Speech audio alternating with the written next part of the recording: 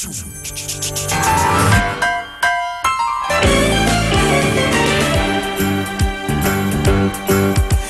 a rare condition this day and age to read any good news on the newspaper page. Love and tradition of the grand design, some people say is even harder to find. Well, then there must be some magic clue inside these gentle